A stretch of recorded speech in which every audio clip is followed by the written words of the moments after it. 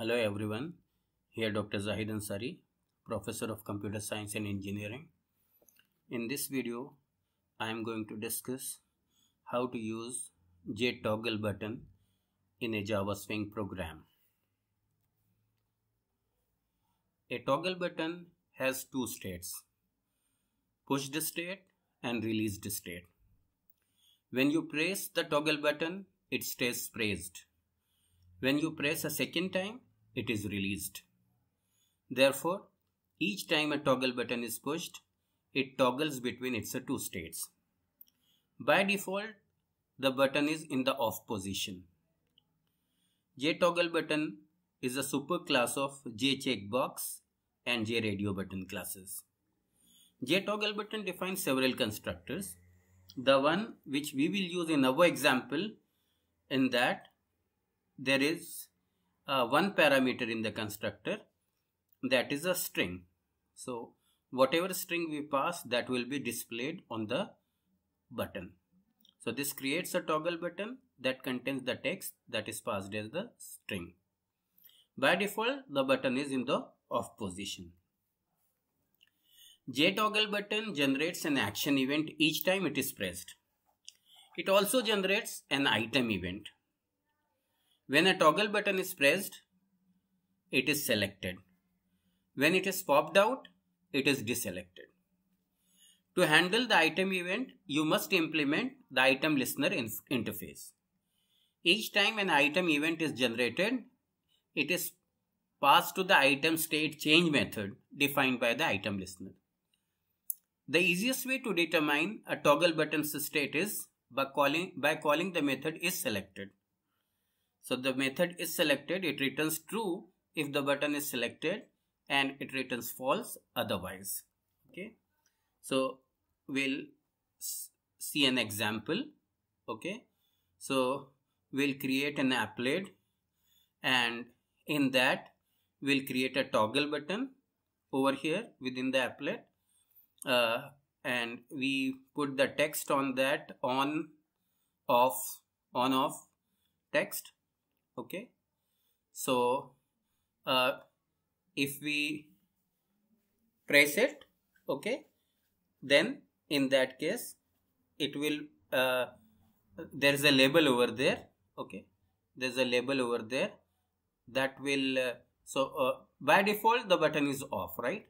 So here the label will be button is off. But when we press it in that case it becomes on and at that time it will generate an event the state change event okay? The item event it will generate okay? Uh, that item event in the method state change uh, we will handle it and in that we'll check uh, whether the button is selected or not.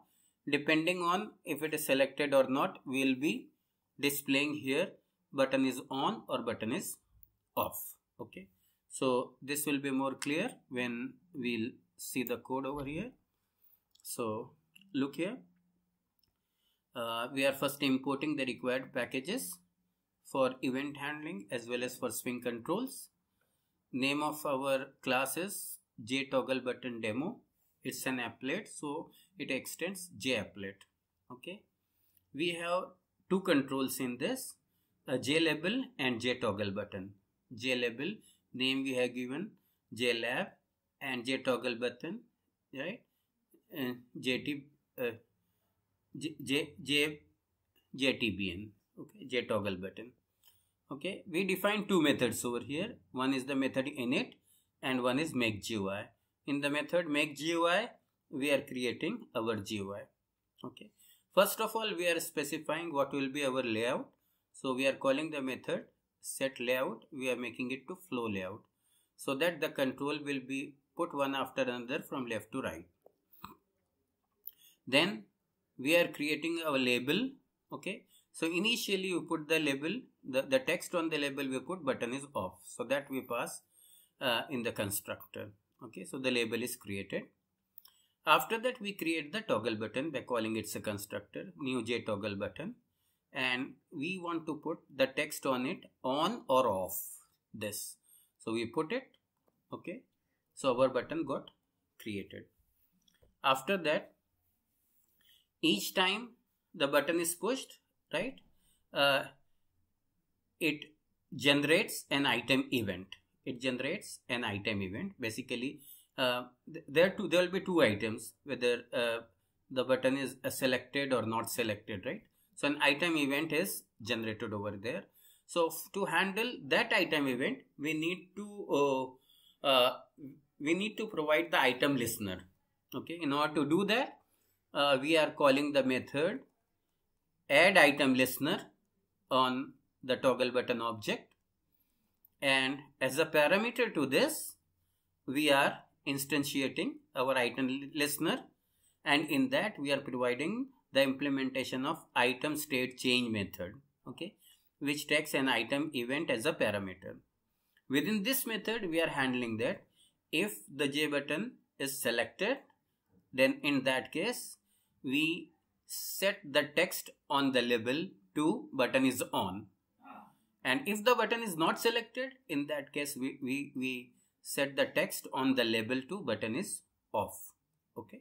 So once we perform this uh, uh, event handling after that we add the toggle button to the content pane associated with the applet and label also we add to the content pane associated with the applet okay this is our GUI and as usual in the init method we are invoking this method make GUI and that we are doing in the event dispatching thread right? By calling swing utilities invoke and wait method.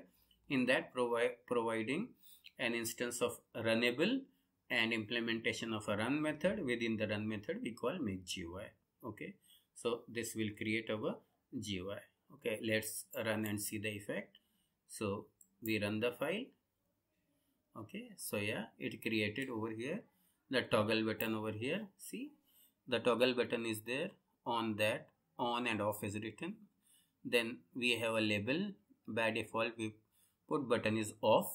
Okay so when we will click on the button then after that the state will change right an item uh, event will be generated and we are handling that uh, item event. So what we are doing is we if the if the button is selected then we are printing button is on. If not selected button is off. So now i am clicking. So button got selected. So right so button is on.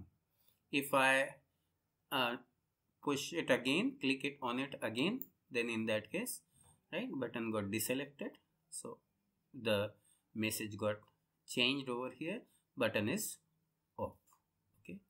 So this was the demonstration of how to use the j toggle uh, toggle button in a swing program